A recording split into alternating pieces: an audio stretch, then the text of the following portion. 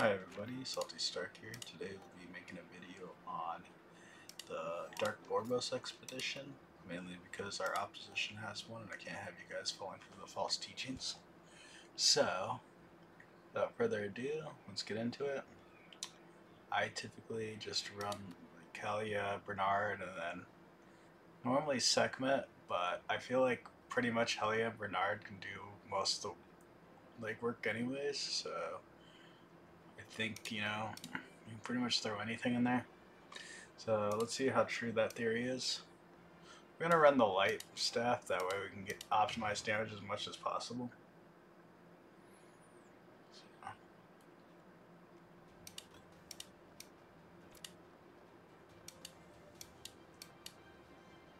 And then we're going to make sure that Helia is only using her skill, her uh, skill 2. But as you can see, everything just kind of ripping apart. And just like that, the boss is already just ripped through. So, big uh, look.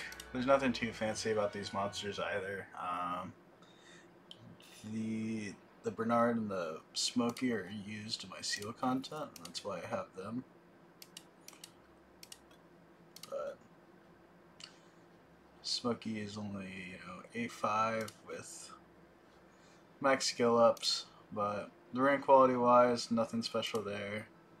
That's pretty much like no crit rate, just focused on accuracy and survivability. And then my Bernard, max skill ups as well, only A9. But this is literally the runes he has, so he doesn't even have another Swift rune, and the rune structure for this monster needs to be completely changed anyways.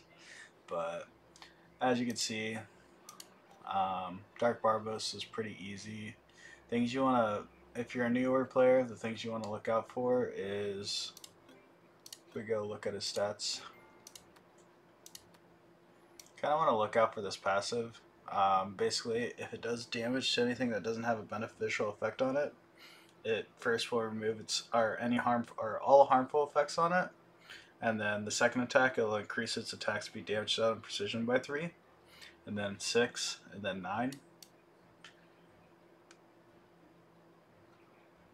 And it actually takes more damage from just basic attacks than actual skills, so it's very important to weave in autos and prioritize trying to use monsters that are more auto attack focused. So, but that's pretty much it. Um, as per usual, we like I said, we're making this video because we can't have you guys uh, learning the false teachings from this baker's good guy. Um, so here we are. Make sure to uh, give his video a look-see though, and while you're there, give it a like, and uh, make sure to put Baker's bad or down Baker's in the comment.